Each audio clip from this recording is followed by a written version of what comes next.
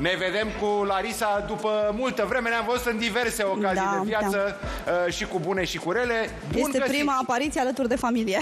Este prima apariție. Mă bucur Da. foarte mult. Pe cea mică am mai văzut, a fost o apariție foarte, foarte frumoasă atunci. Larisa, din câte simt eu, tu ești motorul familiei, nu? Da, așa cred și eu. Uite, vreau, uite, sunt curios, hai să facem o chestie. Că Larisa pe Larisa mai văzut-o, vreau voi să vorbiți despre mama și despre jumătatea ta. Cine vrea să înceapă? Deci descrieți-mi pe Larisa așa cum este ea. Acu să vă văd. Cine începe? Aoleu, am emoții. Richard. Richard. La microfon, dragule. Are emoții. Într-un cuvânt, două, cum vrei tu. Perfectă. E perfectă? Da. Băi, ai nebunit foarte tare. Cea mică? Microfon. Ea are- Descrie-mi-o pe Larisa. Are emoții. Păi, dar ce n-am vorbit noi la televizor împreună? Am vorbit, nu? Zim ceva, ce vrei tu despre ea? Ce-ți vine acum? Zi. Hai, Ricci, vorbește de lasă pe Beatrice care are emoții. Nu poate, e, ea e Are, foarte... are emoții foarte mari. Este Ia- o mamă foarte bună, care știe să se ocupe de copii. O soție minunată. Într-adevăr, este motorul familiei, aș putea spune, dar face totul așa cum trebuie, ca o mamă, ca soție, pentru familie.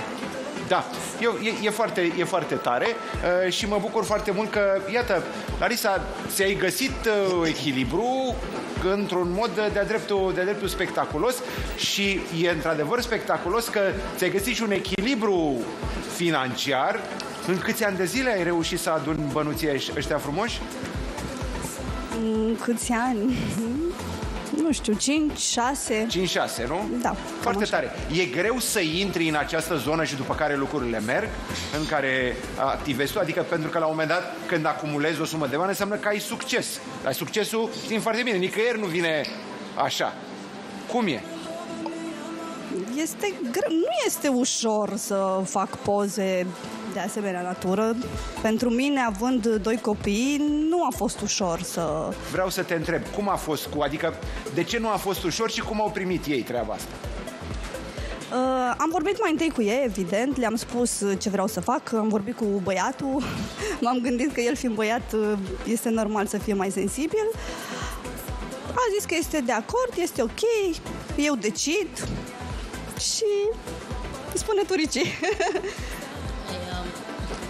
fost o alegere destul de grea, dar orice ar face, e mama mea, o, iubi, o iubesc și Foarte tot timpul tare. o iubesc și Deci ești un, băie, un bărbat matur, ca Da. să, că te-ai gândit până la urmă spre binele, Da. spre binele familiei. Adică n-ar mai fi fost același lucru, adică n-am mai fi dus-o la fel de bine dacă n-ar fi, probabil. Și oricum tot timpul e alegerile corecte și Și până la urmă, ceea ce își vinde ea este o imagine, nu Da. face nimic, adică ea este cu Domnul cu, cu, în continuare, adică nu se, nu se pune problema. Ți-e ușor? Adică sau, dacă ți-e ușor sau tu cum ai fost? Că copiii, uh, iată, au, au făcut această Da, mi-a decizie. explicat de la bun început în ce costă ceea ce trebuie să facă, am înțeles, am fost de acord și nu au fost nicio... N-am avut, am susținut-o în tot timpul ăsta, am ajutat-o cu poze, am făcut poze, o parte din pozele și am susținut-o și am fost alături. Foarte tare. Deci omul o ajută așa în, uh, în, uh, în fereastră acolo. Gătești, Larisa? Da, sigur că da. Ia să-mi spună cei mici, ce gătește mama? Și ce gătește bine, ce vă place? Gătește de toate. Dar, Cum ar fi? Uh, șnițel, spaghete, carbonara, poloneze, lasagna, pit, de toate. El acum a spus ce ce îi place lui. Preferatele lui. mele, da, da, da. Uh, Adică mâncarea mea preferată e șnițelul cu piure și o Mi se face, pare corect. Și o le face, face perfect. Deci da. ești mulțumit, tată, Perfect, da? da. Bravo. Prăjiți. Ție ce-ți place din ce, ce gătește mami? Uh, Bea, ce-ți place să mănânci? Ce? Să mănânci, ce-ți place? Da. Cu Paște.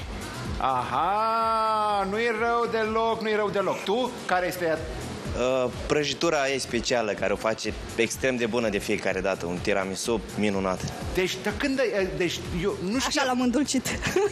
Așa l-ai, așa l-ai uh, Da, prăjit. da, da, da. uh, Cu, Da, da. Foarte, foarte frumos. Uh, e, e o, o să vreau imediat după o pauză să văd și cum petreceți voi sărbătorile și ce faceți și ce vă face să vă simțiți atât de uh, strălucitori și fericiți împreună. Ne întoarcem, doamnelor și domnilor, o apariție spectaculoasă.